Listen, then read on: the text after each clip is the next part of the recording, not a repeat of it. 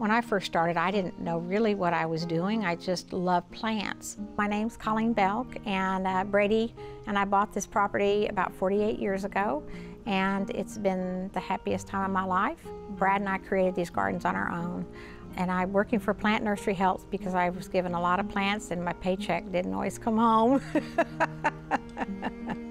That's really true.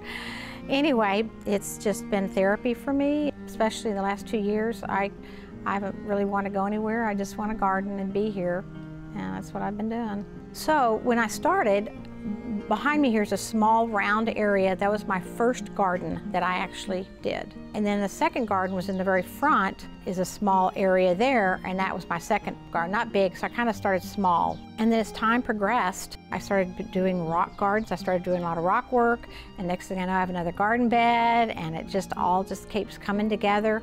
One thing my husband said to me, he says, Colleen says, you cannot garden the front. You have to have boundaries. I went, okay, honey. So I built, had Ermilo and Danielle build stacked rock walls around the, the back perimeter from my front to back. And, uh, you know, and he was right. But I did slowly start going to the front, but not anywhere else. It's hard to stop. I realized that I need to fence my backyard in. I have to do that because I'm tired of fighting the deer, and I love deer, but I'm tired of fighting them. My very front garden, that's all deer resistant plants. They don't eat any of those plants.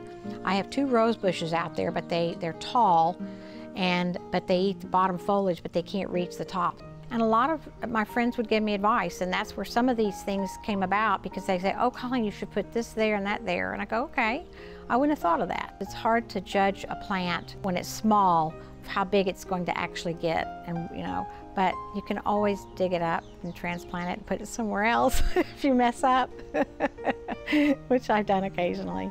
Scott Thurman, he's the one I hired to build this pond for me. And he had a, a college student that helped him.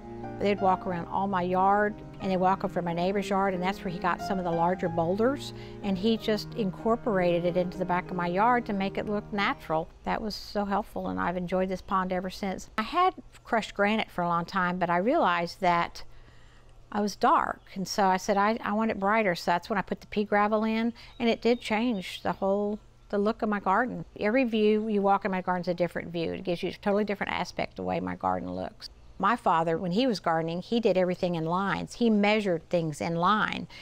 And he came to my yard once goes, Colleen, what are you doing? This is this is just like a I mean, it's like these plants are everywhere. What's going on? And I said, Daddy, it's like this is called a cottage garden. It's like you let let things grow and there's a variety of all kinds of things. I don't want you know, a, a, long row of marigolds and a long row. I don't want that. That's that's just not me anymore. I don't. I appreciate what you did, Daddy, but I don't do that. And he goes, Well, it's just beautiful. Daddy was so funny.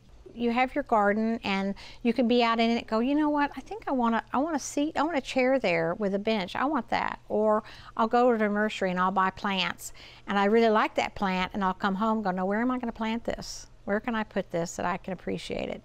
And that's how some, I do that that way. I would go to every nursery in town. I loved nurseries. I love looking at plants. Other people's enthusiasm is just so contagious, so contagious. So going to nurseries, I felt that. Going to Barton Springs, the first one that I went to over off Barton Springs, that's why I called it, I guess.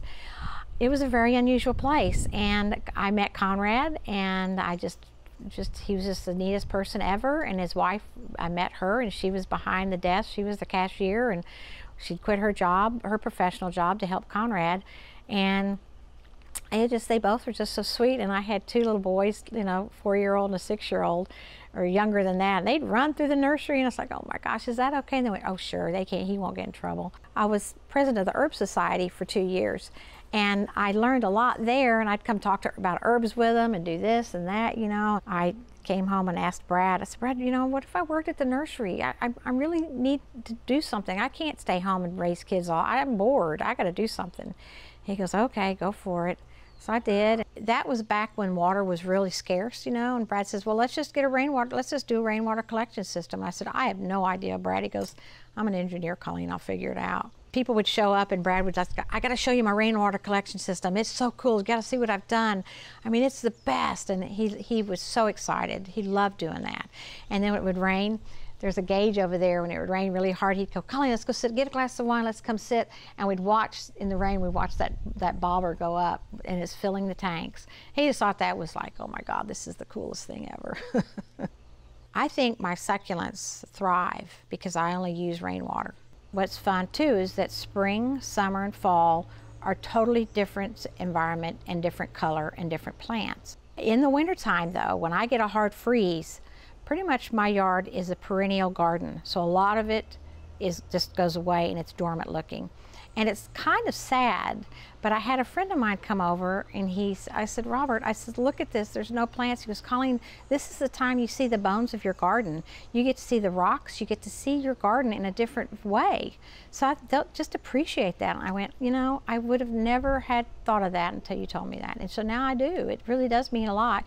But it's not dormant for long and it's definitely makes me feel good when it's growing and it seeds out places, I let the seeds pretty much lie where they are. There's an orchid tree over there right now, another little orchid tree that seeded itself out and I'm letting it grow and it's perfect place. I just like, okay, I like this. Another fulfilling aspect of my garden is that there are so many different varieties of, of and there are insects, but some of the insects are just temporary and it's okay.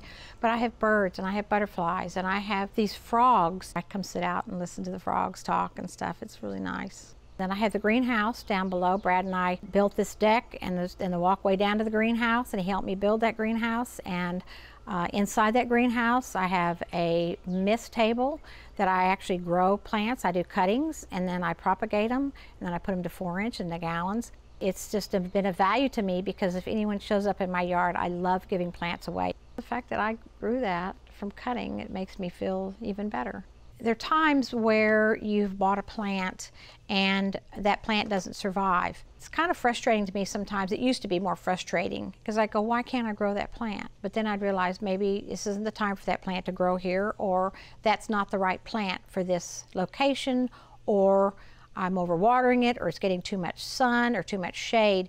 So it's a learning process. And you learn from your mistakes. Uh, uh, that is just you just do. You learn from your mistakes, and don't let it don't let it in any way um, keep you from gardening. Don't feel like you can't do this because you can. The process of having a garden, the process of it is like um, here you've created this environment, and you sit in the mornings. I come out with my coffee, and I sit here and look at my gardens, and I'm it's it's so rewarding it's just a reward I get every morning or whenever I come out my garden. It's all a part of the whole process of having a garden. What else is special about my yard is that being in the nursery business as long as I was, I had so many friends and people that I met that gave me plants. So I can say, you can walk, I can walk in my garden and I can tell you who gave me those plants and that's real special to me because they are in my garden with me and there's lots of plants here that were given to me. A lot of times I dig plants up to share if someone wants them. A lot of memories, a lot of good memories in my garden.